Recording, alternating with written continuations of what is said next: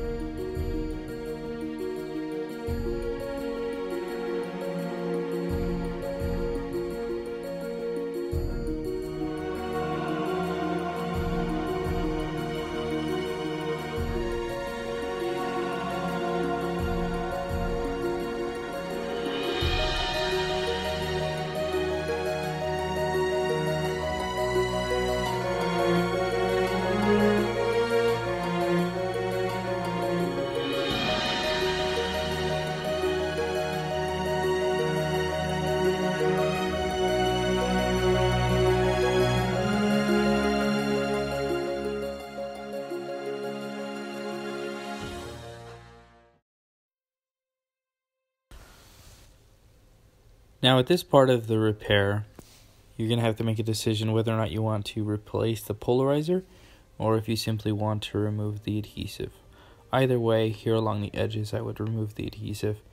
Um, you will see in this video that I remove the polarizer. Um, there's always a chance that it gets scratched, um, and it's best to replace it. However, if you don't have polarizers or uh, glass with polarizers on them, I would suggest um, uh, uh, just cleaning the adhesive, and that way you can use a, a glass or without a polarizer.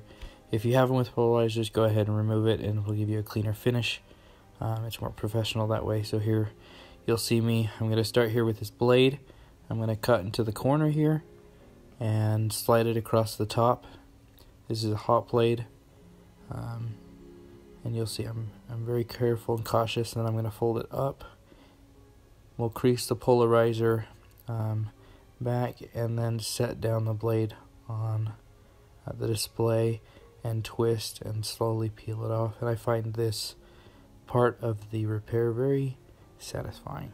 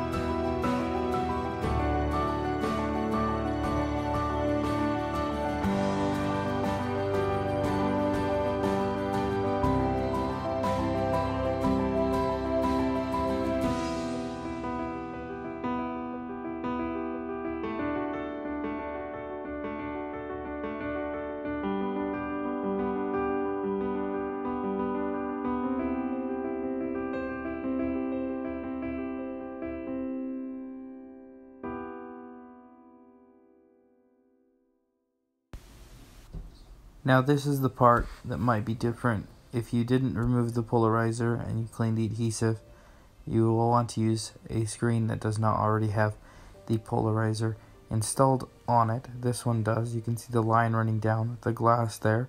That's to remind me that it's uh, still on there, the protector. So what I'll need to do is um, carefully uh, remove that. I do that by placing a uh, sticky tab. I'm going to make sure that it's completely clean before I, before I place it on there. But uh, I put the tab up in the top. Um, it's kind of hard to see me do this because uh, I need to do it quick.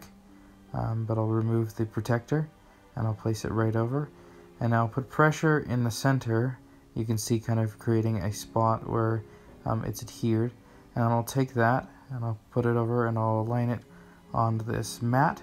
Stick it into my laminator. I'll push start. Um, put the vacuum on.